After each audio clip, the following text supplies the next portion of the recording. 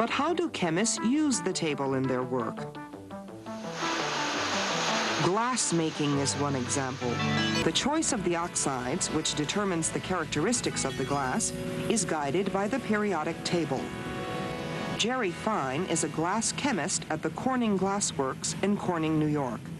I cannot imagine working without the periodic table because scientists are interested in looking for systematic relationships between different substances and between different elements. The periodic table is a simple way of looking up and finding systematic relationships between different elements that we can understand on a very simple level.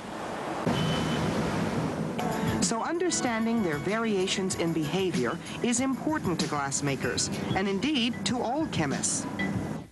To review,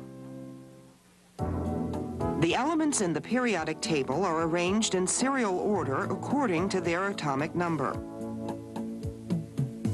The rows are called periods and the columns are called groups. You can see right away that a given electronic configuration implies similar properties.